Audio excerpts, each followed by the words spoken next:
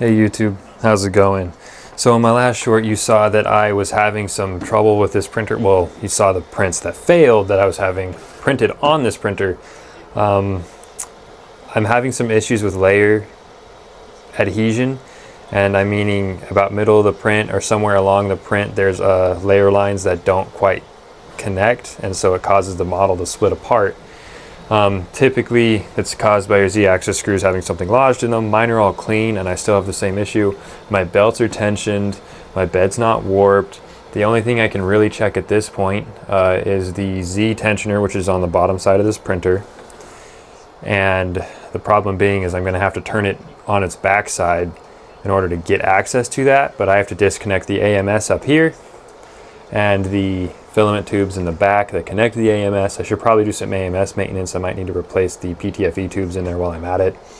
And uh, if you're asking about what are my filament settings, um, these are standard Bambu PLA spools and PLA matte spools. I already have the filament dialed in. I don't have troubles with any other machines, nor have I had troubles besides the past couple of prints. Um, and nothing has changed besides the layer de-adhesion. So it leads me to believe that it is in fact either the Z belt or the Z screws, but the Z screws look fine. So I guess I'm just going to time lapse myself flipping this thing onto its back or well I'll get everything disconnected and then I'll move it over to the bench over there and then I'll uh, do the tension of the Z belt and everything. Unless I can keep it here, I'll, I'll try, but I kind of doubt I will. There's not a good angle here to do anything really. One of the best parts about having a really tall printer is you can't reach back here to see, but uh, right there, that's a hub I need to get this PTFE tube out because it goes right to the back of the AMS and there's no other way to get it out. So that'll be fun. I already disconnected the AMS and uh, I'm going to have to take most of this stuff off in order to fix that. So hopefully it's not too terrible. I got all this white dust from whatever, I don't know. But oh, I'm not looking forward to this. This thing's heavy. I got the printer off. Now I need to put it over there, which is right there and then uh, gotta flip it onto its back. I think I can leave everything attached, but there's one thing I'm forgetting. Whenever you're gonna do stuff, you have to put the screws into the bed here to hold it in place. There's three of them, one on each side, um, before you tip it up so you don't unlevel it, even though you could just re-level it when you start, but it's better safe than sorry. She is super dusty, but I don't, I don't, I just don't care. I gotta get these two screws out and then uh, this should disconnect pretty quick. So there's that. see if a 2.0 fits. It does. 2.0 millimeter hex head to get that out. Sorry. Let's get these out of here. If you're curious how this works, it's just a spring. Legitimately just a spring. All right, that just comes right off. Disconnect the PTFE tube. Man, it's so dusty. Now I need to install the screws in the bed. So I'm gonna try and, nope, not turning that apparently.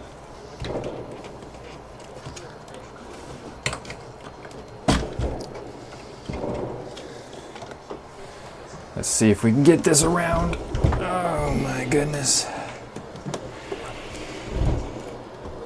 This is one of the first model P1Ps that I upgraded to a P1S. Now it is a POS until it gets fixed. All right, so I got those screws in. Turns out they were M3 by 16s, I believe. I'm pretty sure they were 20s though. But either way, I have the screws in there, so now I can tip this on its back. I have all this extra junk on the top of this printer, which you can't see. Let's see if I can angle that up a little bit. I have all that junk on the top up here, uh, like these AMS stands and everything. I'm just gonna do my best, and I'll probably move you guys back a little bit to like I don't know, right here possibly. And now let's turn this onto its back now that everything's been removed and see if we can get to those Z tension screws. This is always nerve wracking. Oh God, it's heavy. Oh yeah, I got some plastic pieces for Proto-pasta spools over here. Okay, didn't fall out. So down here, let's see if you guys can see all that. That is the Z drive system. And I'm actually looking for this tensioner right here. But I really, oh, it is loose. Really loose. That explains a lot. Yep. Okay, well then, uh, I'm gonna have to take apart this tensioner here and I'm gonna follow the Bambu Lab instructions and I'll walk you guys through it as I adjust these Z tensioners. Yeah, I can feel it skipping steps right there. Okay, well it is what it is. Let's get the uh, tensioner taken off. I'll follow the instructions on the wiki and then I'll let you know what I'm doing. So step one is to, oh man, there's no way you're gonna be able to see that. Maybe. It says tilt the printer, pull the Z-axis belt to lower heat bed to the bottom and lock in the three auxiliary screws. That's already been done. Uh, I did that before I tipped it over. I just manually put the bed to the bottom by going through the menu. The second step is remove screws, right side down the printer, release the Z tension spring and remove the three screws. So what it's saying is the Z tensioner, it's actually supposed to be on this side, but I'm not gonna put it, it does, I don't think it really matters if I'm being honest with you. Um, and then this is a 1.5 hex for these. And I need to release those three screws right there to free the tensioner. And the tensioner is this spring right here. So let's do that real quick. Now let's take out these 1.5s. I don't like taking screws out of plastic. It always worries me. These are self-tappers.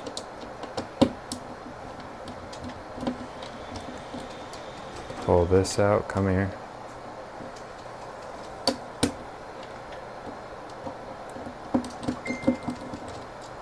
There's that one. And then, uh, wrong thing. Here's this one. So those are the three screws. Not the big one in the middle. Just those three little ones. Those are the 1.5s. Stick it to my magnetic mat there. And I could probably bring you guys down here and lower this. Let's see here. Oof, sorry about that. see if I can't get you a little closer. All right. So, as you can see, I pulled out that screw, that screw, that screw. Now the next steps are to remove the Z tensioner. So remove the Z tensioner screw with a hex 2.0. So here's a hex 2, a little bit bigger than the 1.5, obviously. Put the 1.5 over here on the little mat. And I'll take out the 2. Oh my goodness. So that is very small. I already see some junk built up on that. Let's hope that's not what's causing the issue. All right. Then it says to remove the Z timing belt. I don't want to do that. Uh, install this. So it says uh, remove the Z timing belt. So if you're looking at this, the easiest way to remove the Z timing belt is obviously to release this tensioner right there. Click it out. Drop the belt down. Pull the belt off of that Z tensioner. God, this is just never easy. I don't care what anybody says. Come here, you. They made it look so easy in the pictures. see if I can get it off one of these ones up here, maybe. Yeah, there we go. So, let's see. I'm going to try and angle you guys up towards that. Let's see if I can just lift you up real quick. So up here in the corner, it's a lot easier to get the belt out. Just kind of kind of wiggle this back and forth. And boom, the belt comes out. I'm going to inspect the belt, make sure there's no damages to it. If you guys don't know how to check a belt, it's fairly simple. Uh, you just go down the length of the belt, make sure you don't see any rips or tears. I would do it in front of the camera, but uh, it makes it harder for me to see. So I'm just going to inspect this belt see a lot of okay that's a little bit of worry right there I see some little bit of nicks on there Doesn't look like it's affecting the belt. See a little nick right there. That's not a big deal. It doesn't look like it's affecting the belt. Overall, the belt looks pretty good. I for sure cannot see any actual alarming damage. I see a couple like pressure points caused by just use. These are the Z-axis screws if you don't know by the way. This one feels a lot looser than this one. So that's probably another issue I'm having. That might need to be tightened. But I'm just going to go through the steps now and see. I'm taking off this Z idler as well. You can see the built up crud right there. And that's just from the belt itself. So let's get that cleaned off. Just going to kind of try and scrape it off. Should come off. It's mostly just old rubber. Then I'll clean it with some isopropyl. And then uh, try and get a lot of this junk off.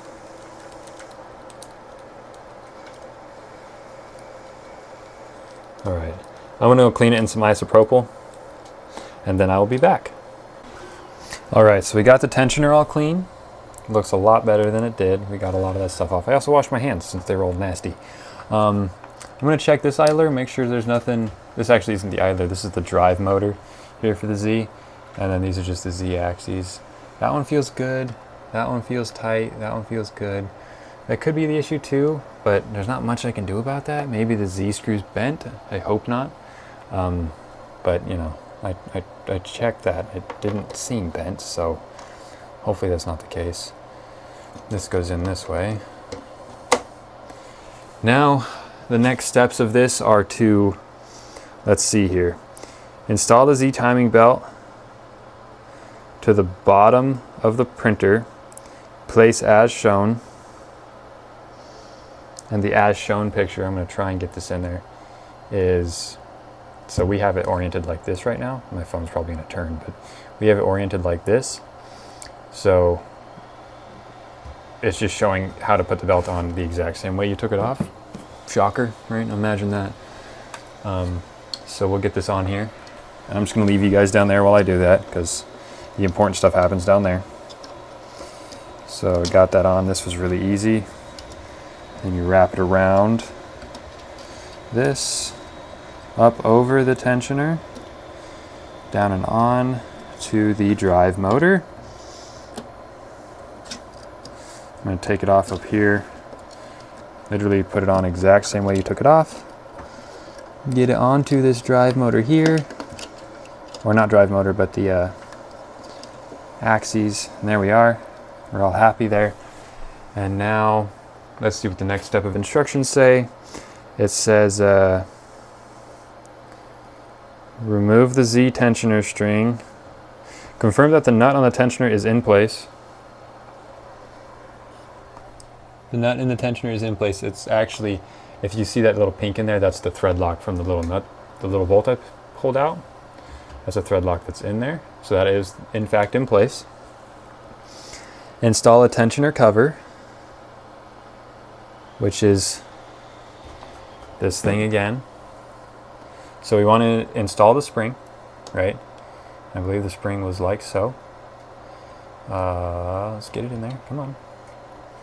Let's see, how does the picture have this thing?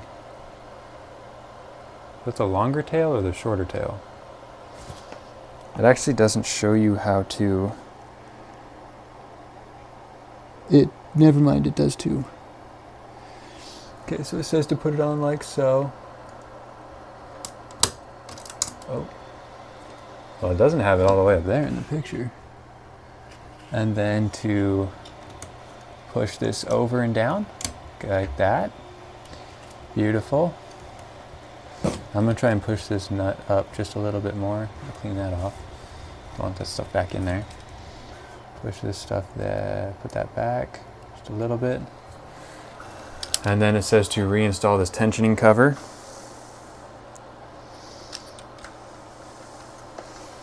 And it tells you to install the lock, the locking bolt first. So let's get this back on here the right way. You know, third time's the charm here. Oh, come on you. It's pretty difficult reaching around a camera to, to do this. So we'll grab that. Get that threaded in. Perfect. And then we will put our three little screws back in. And this is where you switch back to the 1.5 millimeter. And you just simply screw these back in place. Oh, come on, this is gonna take forever. I have an electric screwdriver, but it's dead, and I'm too lazy to charge it. Sorry. Now we'll get this one on. You guys like the butt of that screwdriver? It's right in your face. Next up is the last one. And then from there, I'll read the next set of instructions. That doesn't look like it's lined up, but it feels good. Yeah, there we go. It evened itself out. All right. So I can tell just from doing that, the belt is already tighter than it was by quite a bit.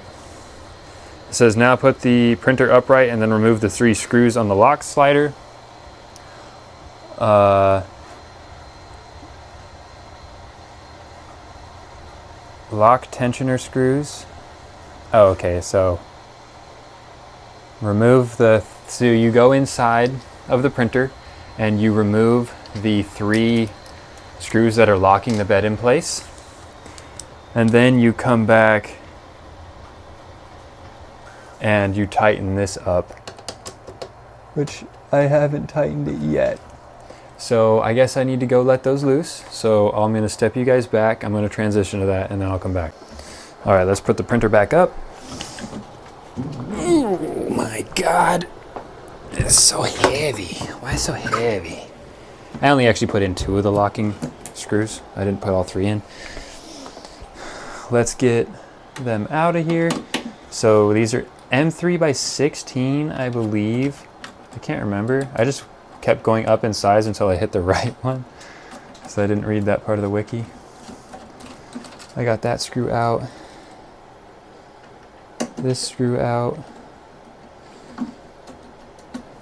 And then we tip the printer back on its side, which makes me believe that we don't even need to put these in there in the first place.